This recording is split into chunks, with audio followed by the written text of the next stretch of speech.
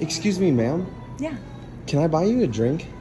No, it's bad for my legs. Uh, do they like swell or something? No, they spread.